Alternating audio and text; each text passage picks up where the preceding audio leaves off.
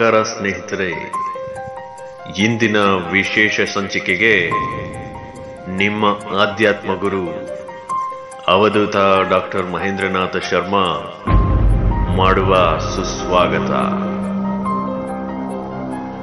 ಪ್ರಾಚೀನ ಕಾಲದಲ್ಲಿ ನಮ್ಮ ಋಷಿ ಮುನಿಗಳು ನಾಲ್ಕು ವೇದಗಳನ್ನು ಬರೆದರು ಸ್ನೇಹಿತರೆ.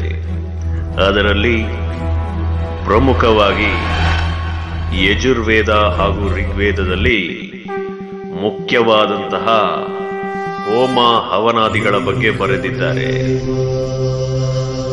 ಇಂದು ಪ್ರಪಂಚದಾದ್ಯಂತ ತಾಂಡವವಾಡುತ್ತಿರುವ ಕೊರೋನಾ ಸಾಂಕ್ರಾಮಿಕ ಮಹಾಮಾರಿಯ ಒಂದು ಘಟ್ಟವೇನಿದೆ, ಇದು ಪ್ರಮುಖವಾಗಿದೆ.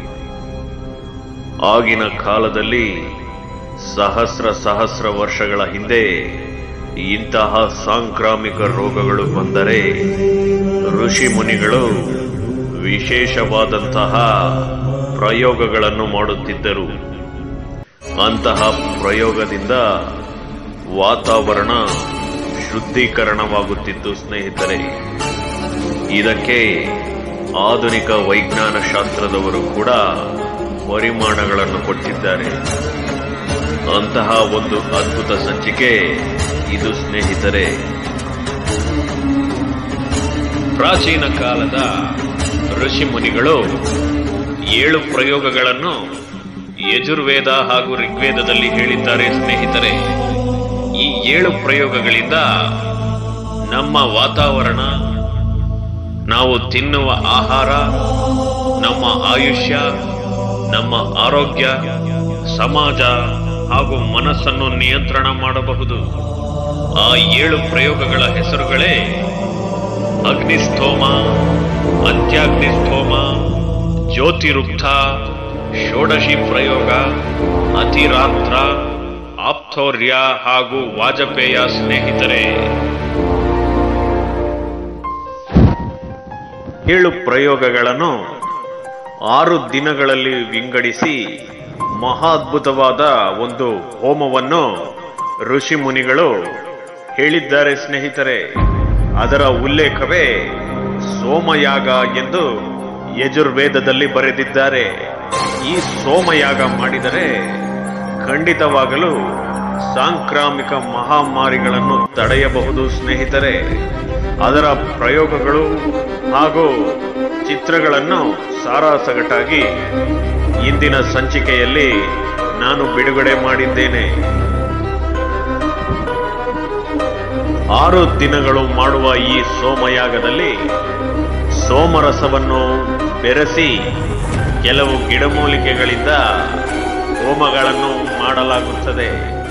ಹಾಗೂ ಈ ಸೋಮ ಎಂಬುವ ಬಳ್ಳಿಗಳನ್ನು ತೆಗೆದುಕೊಂಡು ಅದನ್ನು ಅರೆದು ಆರನೆಯ ದಿನ ಔದುಂಬರ ವೃಕ್ಷ ಹಾಗೂ ಔದುಂಬರ ಚಕ್ಕೆಗಳಿಂದ ಹವಿಸ್ಸನ್ನು ಕೊಡಲಾಗುತ್ತದೆ, ಸ್ನೇಹಿತರೆ.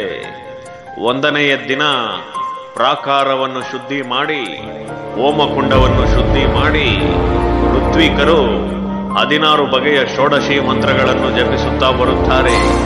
ತದನಂತರ ಹಾಲು, ತುಪ್ಪ ದದಿ ಕ್ಷೀರ ಹಾಗೂ ಆಜ್ಯ ಸಮಿತ್ತುಗಳಿಂದ ವಿಧಿವತ್ತಾಗಿ ಯಜುರ್ವೇದ ಮಂತ್ರಗಳಿಂದ ಹೋಮಗಳನ್ನು ಮಾಡುತ್ತಾ ಬರುತ್ತಾರೆ. ಈ ರೀತಿ ಮೂರನೇ ದಿನವಾದ ಮೇಲೆ ಹೋಮಕುಂಡಕ್ಕೆ ಪ್ರದಕ್ಷಿಣೆ ಮಾಡಿ ಅವರು ಸೋಮಯಾಗದ ರಹಸ್ಯಮಯಿ ಮಂತ್ರಗಳನ್ನು ಉಚ್ಚರಿಸಿಕೊಂಡು ಪ್ರವರ್ಗ್ಯ ಹೋಮ ಎಂಬುವ ಒಂದು ಪ್ರಯೋಗವನ್ನು ಅತಿರಾತ್ರ ಎಂದರೆ ರಾತ್ರಿಯ ವೇಳೆಯಲ್ಲಿ ಮಾಡುತ್ತಾರೆ. ಈ ಪ್ರವರ್ಗ ಎಂಬುವ ಒಂದು ಪ್ರಯೋಗದಿಂದ ಈ ಹೋಮದಿಂದ ವಾತಾವರಣವು ಪೂರ್ತಿಯಾಗಿ ಶುದ್ಧೀಕರಣವಾಗುತ್ತದೆ, ಸ್ನೇಹಿತರೆ.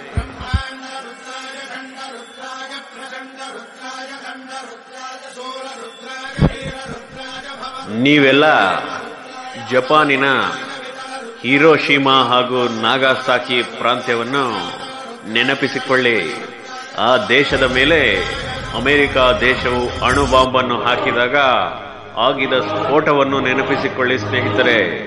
ಅಂಥದ್ದೊಂದು ಸ್ಫೋಟ, ಅಗ್ನಿಯ ಸ್ಫೋಟ, ಪ್ರವರ್ಗ್ಯ ಹೋಮದಲ್ಲಿ ಆಗುತ್ತದೆ. ನಂಬಲು ಅಸಾಧ್ಯವಾದರೂ ನೈಜ ಸಂಗತಿ, ಇದರ ಪೂರ್ತಿ ಚಲನಚಿತ್ರವನ್ನು ಇಂದಿನ ಸಂಚಿಕೆಯಲ್ಲಿ ನಿಮಗೋಸ್ಕರ ಬಿಡುಗಡೆ ಮಾಡಿದ್ದೇನೆ. ನೋಡಿ ಆನಂದಿಸಿ.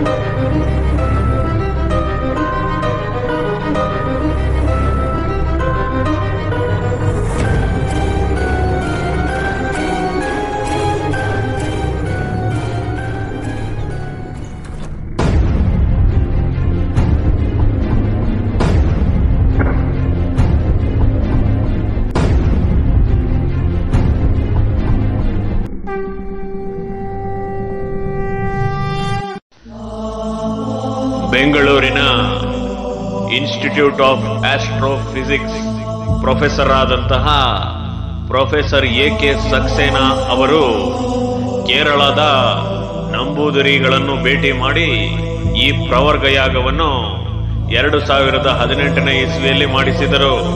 ಅವರಿಗೆ ಬಂದಂತ ಫಲಿತಾಂಶವು ಅತ್ಯಂತ ರೋಚಕವಾಗಿತ್ತು. ಅದೇನೆಂದರೆ ಈ ಪ್ರವರ್ಗ ಯಾಗವು ಎಲ್ಲಿ ಆಯಿತೋ?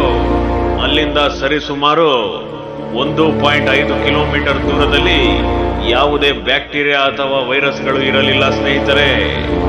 ಸಾವಿರದ ಒಂಬೈನೂರ ಹದಿನೆಂಟನೇ ಇಸ್ವಿಯಲ್ಲಿ, ಅಂದರೆ ಸರಿಸುಮಾರು ನೂರು ವರ್ಷಗಳ ಹಿಂದೆ, ಹೆಲ್ಸಿಂಕಿ ಯೂನಿವರ್ಸಿಟಿ ಅವರು ನಮ್ಮ ಭಾರತ ದೇಶದಲ್ಲಿ ಈ ಪ್ರವರ್ಗ ಯಾಗವನ್ನು ಸಂಶೋಧನೆ ಮಾಡಿ, ಅವರು ಕೂಡ ಇಂತಹದ್ದೇ ಫಲಿತಾಂಶವನ್ನು ಹೊರಹಾಕಿದ್ದರು. ಆ ಪ್ರವರ್ಗ ಯಾಗದಲ್ಲಿ ಅವರು ಬಳಕೆ ಮಾಡಿದಂತ ಇಟ್ಟಿಗೆಗಳ ಮೇಲೆ ಇಂದಿಗೂ ಕೂಡ ಯಾವುದೇ ವೈರಸ್ ಅಥವಾ ಬ್ಯಾಕ್ಟೀರಿಯಾಗಳು ಮೂಡಿ ಬಂದಿಲ್ಲ. ಎಂತಹ ಮಹಾದ್ಭುತವಲ್ಲವೇ, ಇಂತಹ ಪ್ರಯೋಗವನ್ನು ಯಾಕೆ ಭಾರತ ಸರ್ಕಾರದವರು ಇಂದಿನ ಸಾಂಕ್ರಾಮಿಕ ಒಂದು ಏನು ಪರಿಮಾಣಗಳು ನಡೆಯುತ್ತಿವೆ, ಇಂತಹ ಸಮಯದಲ್ಲಿ ಯಾಕೆ ಮಾಡಬಾರದು? ಅಲ್ಲವೇ ಸ್ನೇಹಿತರೆ? ಅತಿರಾತ್ರ ಪ್ರಯೋಗವನ್ನು ಸಂಶೋಧನೆ ಮಾಡಿದ ವಿಜ್ಞಾನಿಗಳಿಗೆ ಒಂದು ವಿಚಾರ ಗೊತ್ತಾಯಿತು. ಅದೇನೆಂದರೆ, ಈ ಅತಿರಾತ್ರ ಪ್ರಯೋಗದಿಂದ ಆಗುವ ಅಗ್ನಿಸ್ಫೋಟದಲ್ಲಿ ಅವರಿಗೆ ಸಿಕ್ಕಂತಹ ಆ ಪರಿಮಾಣವೇನೆಂದರೆ, ಮೂರು ಸಾವಿರದ ಎಂಟುನೂರ ಎಪ್ಪತ್ತು ಡಿಗ್ರಿ ಸೆಲ್ಸಿಯಸ್ ಒಂದು ಅಗ್ನಿಯ ತಾಪಮಾನ ಉಂಟಾಗುತ್ತದೆ. ಇಷ್ಟೊಂದು ತಾಪಮಾನದಲ್ಲಿ ಯಾವುದೇ ಬ್ಯಾಕ್ಟೀರಿಯಾ ಅಥವಾ ವೈರಸ್ಗಳು ಬದುಕಿರಲು ಸಾಧ್ಯವಿಲ್ಲ, ಸ್ನೇಹಿತರೆ. ಇದನ್ನು ಉಂಟು ಮಾಡುವ ಶಕ್ತಿಯಾದರೂ ಯಾವುದು?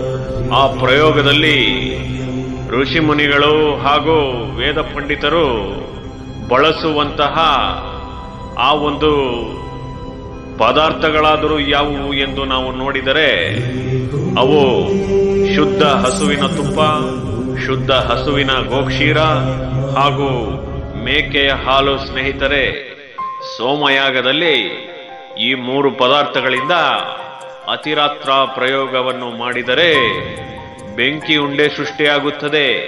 ಅದು ಸರಿ ಸುಮಾರು ನಾಲ್ಕು ಸಾವಿರ ವರ್ಷಗಳ ಹಿಂದೆಯೇ ಯಜುರ್ವೇದ ಹಾಗೂ ಋಗ್ವೇದದಲ್ಲಿ ಬ್ರಹ್ಮರ್ಷಿಗಳು ಉಲ್ಲೇಖ ಮಾಡಿದ್ದಾರೆ ಸ್ನೇಹಿತರೆ. ಮಹಾದ್ಭುತವಾದ ಯಜುರ್ವೇದ ಹಾಗೂ ಋಗ್ವೇದದಲ್ಲಿ ಉಲ್ಲೇಖವಾಗಿರುವ ಸೋಮಯಾಗ ಅತಿರಾತ್ರ ಪ್ರವರ್ಗ್ಯ ಹೋಮವನ್ನು ನಾನು ನಿಮಗೋಸ್ಕರ ಈ ಸಂಚಿಕೆಯಲ್ಲಿ ಪ್ರಸ್ತುತಿಪಡಿಸಿದ್ದೇನೆ, ಸ್ನೇಹಿತರೆ.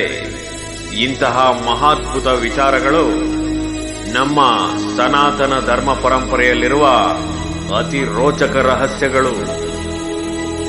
ಇಂದಿನ ಸಂಚಿಕೆ ನಿಮಗೆಲ್ಲರಿಗೂ ಇಷ್ಟವಾಗಿದೆ ಎಂಬುದು ನನ್ನ ಅನಿಸಿಕೆ ಧರ್ಮೋ ರಕ್ಷತಿ ರಕ್ಷಿತ. ಧನ್ಯವಾದಗಳು.